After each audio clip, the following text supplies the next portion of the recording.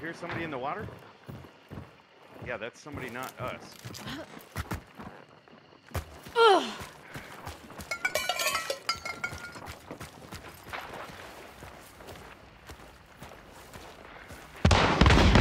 I tagged him.